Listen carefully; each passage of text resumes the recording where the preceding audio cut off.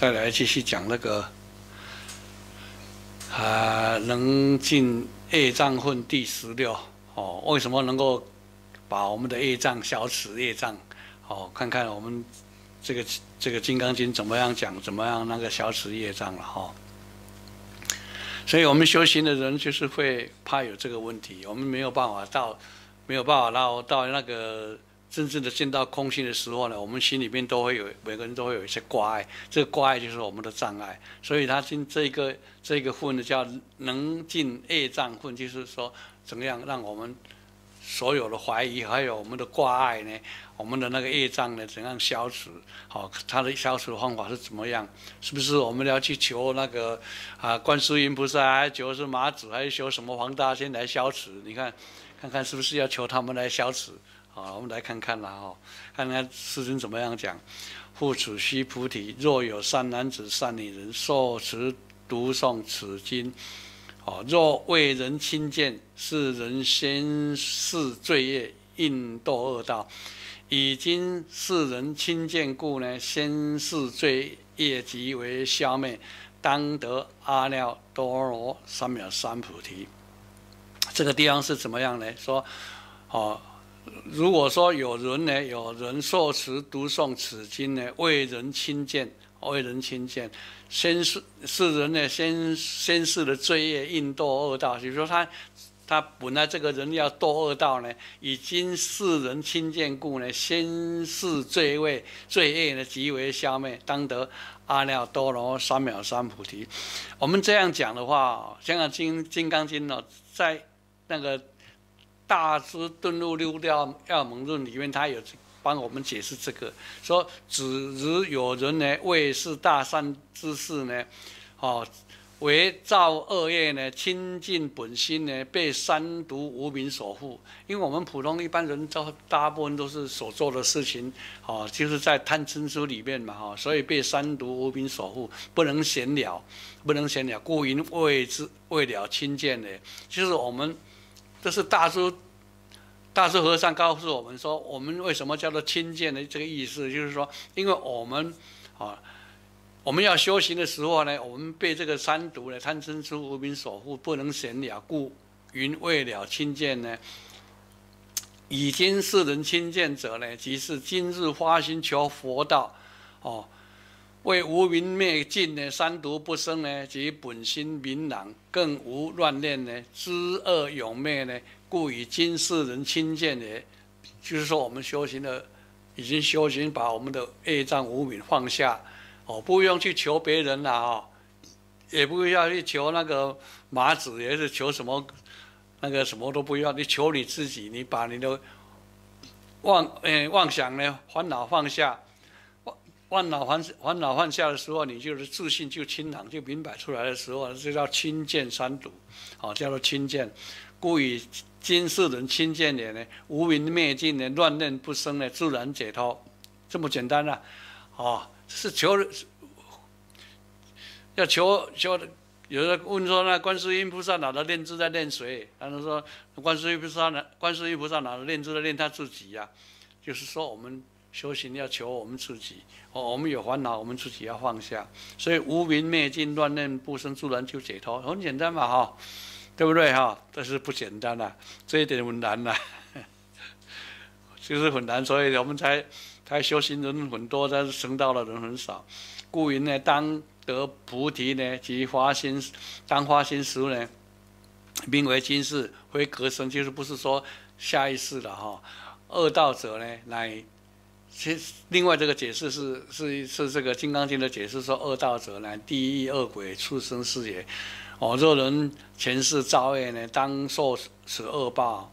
啊，为持此经以重报轻的，比如说你有受持《金刚经》的以后呢，会那个重重罪轻报了哈，以重报轻啊，免堕恶道。若能啊，更悟明此意呢，当体。乾空的时候呢，即恶果顿消呢，尽业立成了哈，正正位呢，千年暗示一灯明，啊，这个是另外一个师傅在讲《金刚经》的解释，啊，刚刚在讲那个亲见的那个就是大师在讲了，哦，呃，在下去说：须菩提，我念过去无量阿僧体体劫呢，以燃成佛前呢，得值八百四千万亿那优他诸佛，悉皆供养成是无空过者呢。他这个地方呢，这个地方有一个阿僧祇劫嘛，阿僧祇劫也是时间无量世的时，无量的时间的无量世。这阿楞体劫，它没有没有固定说几几千年几万年，它阿楞劫无量无量的那无量时间的混杂混杂很多很多的时间叫阿楞体劫，啊，以燃灯佛前得值八百四千万亿那由由他那由他哦，那由他就是一万万呐，一万万，那八百四千万再乘以。八百四千万亿再乘以一万万的话，那哇，那不得了，那天文数据就是等于说，释迦牟尼佛在讲说，尽虚空变化这所有的佛的意思了哈，有那么多那么多的佛，啊，悉皆供养成事呢，无空过者呢，啊，若复有人呢，虽然他说他供养那么多佛呢。哦，若复有人以后末世能受持读诵持经的，所得功德呢，以我所供养之福功德呢，百分不之一了哈，百千百万亿分，乃是算世弟子所不能及。释迦释迦世尊在比喻这个，给你们很大的信心，说你如果受持读诵金刚经，好像供养尽虚空遍法界所有的佛那么多了，好，只要。供养一本《金刚经》就好了，哦，你只要真正的你达到了无我相、无人相、无众生相、无寿者相，那你就是供养，等于供养所有尽虚空遍法界所有的佛菩萨了，多伟大哈！所以在这个下面的解释，哦，阿僧劫呢跟那由他，那由他是一万万的哈，换那个换你二者皆是事了哈，此云即是无无量事也了哈。供佛是布施啦，成事是力行啦。佛言：我在南灯佛无量劫前呢，供养成事无量诸佛功德呢，以持金之人的功德呢，千万亿分莫及其一的。所以，这个释迦世尊他很会很会比喻的，说我们的功德有多大哈？那我们确确实实真的有没有是这样的？哦，确确实实，我告诉各位，如果真的有一个人。看了《金刚经》发菩提心，看了《金刚经》的悟道，你看那个悟道的功德有多大？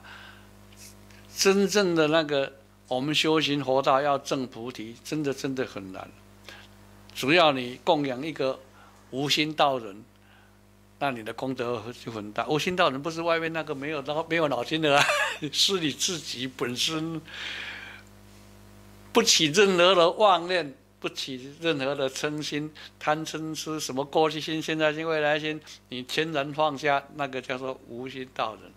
如果你能够供养一个无心道人，你胜过你千供供养千万亿诸佛菩萨。啊，这个是《金刚经》的思想。那我们就慢慢来学习，慢慢来想。这么释迦师尊他既然可以这样讲，敢这样讲，那我们又不能。不敢去相相信，那真的很奇怪哈。但是都，但是虽然说你现在还感到有点那个不是很相信，但是有一天如果你真正的有一天你真正的像禅宗所讲的顿悟的话呢，你毕竟会非常相信的。我们今天会讲到以后末世有受持读诵啊。啊，此经的所得功德，我若既说了后，有人闻心即狂乱，狐疑不信。须菩提，当知是经义不可思议，果报也不可思议。所以，我们修行的话，一定要有那个福德因缘。福德因缘是我们福德，就是我们要常常去。诸恶莫作，众善奉行。啊，因缘呢，就是我们要去亲善知识，所以我们也还是要有福德因缘来帮助我们修行，哦，我们才容易容易上路。不然的话，我们会会那个，所以为什么会狂乱不不信呢？无一不信呢？哦，因为没有人有办法相信这个事情，很难相信，很难相信。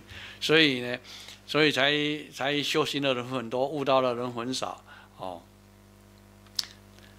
啊，末世者就末法之世也。此经中的功德，何不一一记说者呢？